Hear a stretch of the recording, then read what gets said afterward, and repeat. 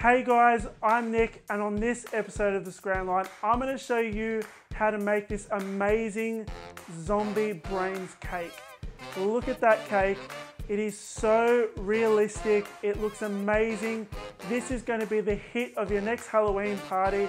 Kids are gonna love it. Adults are gonna say, ew. I've seen this thing on top of wedding cakes. I mean, it looks so, so cool and it's so easy to make. You have no idea.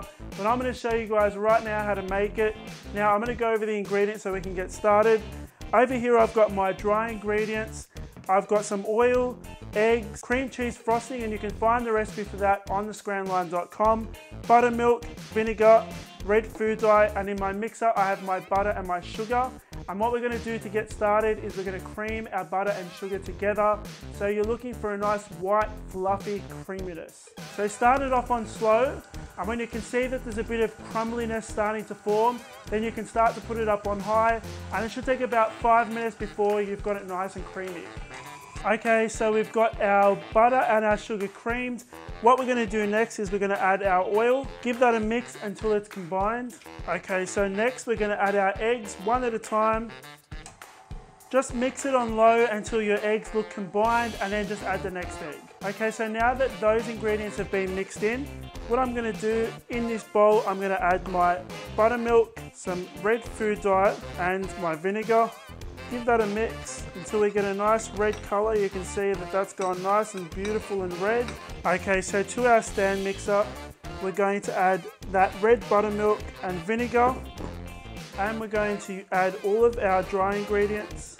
We're gonna mix that on low. Now what I'm gonna do just before it's finished mixing, I'm just gonna scrape down the bowl, just so we can grab all of those dry ingredients that might not be getting mixed in properly.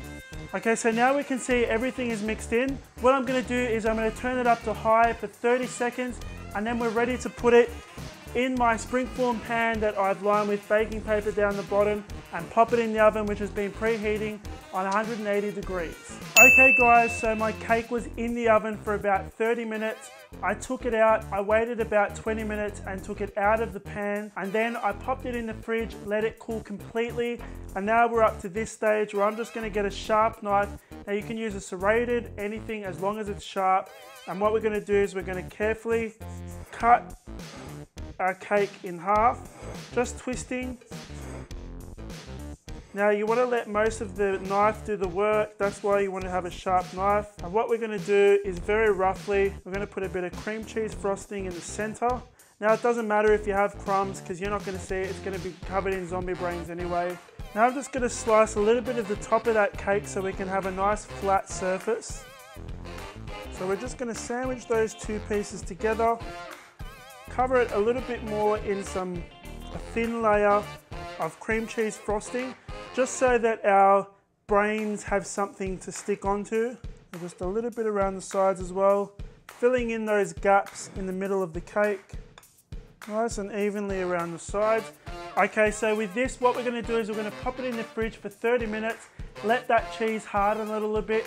In the meantime, we're gonna make our marshmallow fondant, which is gonna form our brains, and I'm gonna show you guys how to do that next. Okay guys, so to make the marshmallow fondant, what you're gonna do is you're gonna grab a microwave safe bowl, you're gonna put marshmallow in it, you wanna pop it in there for 30 seconds, give it a mix, 20 seconds, give it a mix, 10 seconds, mix, and then after that, every 10 seconds, give it a mix because you don't want to burn your marshmallow. So basically what you're looking for is something that's nice and melted. What I'm gonna do is pop it in my stand mixer and we're gonna pop a little bit of icing sugar in there at a time allow it to thicken, and then once it's too thick for the mixer, I'm gonna take it out and we're gonna knead it.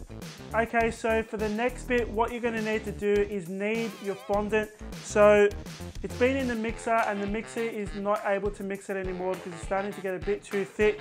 So what you're gonna do is you're gonna grab a bit of your icing sugar, pop it on your bench, clean hands and oil spray, and that's gonna stop the fondant from sticking to your hands. So you want to spray them well and you might end up doing it more than once as well because this stuff is sticky. Okay, so basically you're treating it pretty much the same as bread dough, just kneading it. Every time you can feel it starting to get sticky on the palm of your hand, just add a little bit more icing sugar and keep kneading. Okay, so our fondant is done and what I'm gonna do cut a bit of plastic and wrap it up in some plastic, pop it away, and then we're gonna get started on our cake.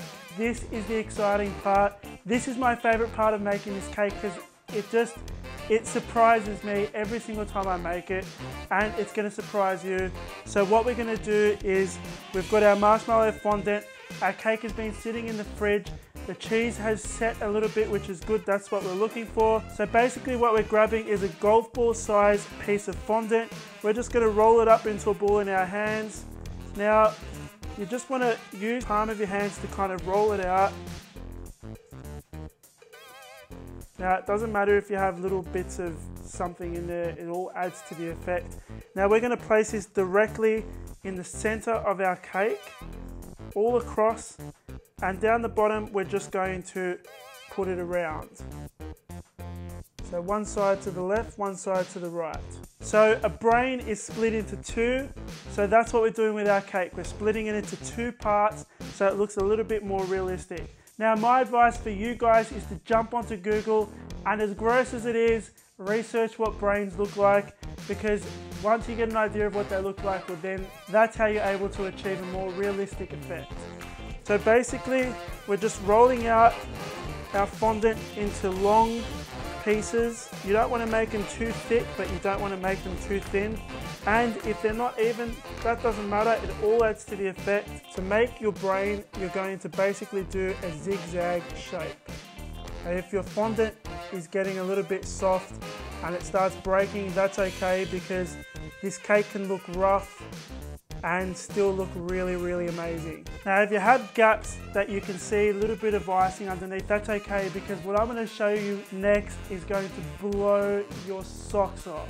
What we're gonna do now is I've got some jam here which I've sifted so we can get rid of the seeds. That's raspberry jam that I've used. I put a little bit of extra red food dye in there just to make it a little bit redder and bring out that blood. And what I'm gonna do is I'm just gonna pour it all over the cake using a pastry brush. I'm just gonna spread it around and you can see that it just gets into the little creases and in there and it makes it look shiny and it looks like like a brain. It looks like a zombie brain. And this is my zombie brain cake. You're welcome. So if you'd like the recipe for this zombie brain cake you're going to find it on thescranline.com if you'd like to follow me during the week and know what I'm up to, you can do that on Twitter, Facebook, and Instagram. The links for those will be in the description down below. If you enjoyed the video, give it a thumbs up. Make sure you subscribe because there's lots of really cool episodes coming up soon. I'll see you guys on the next episode of The Scran Line.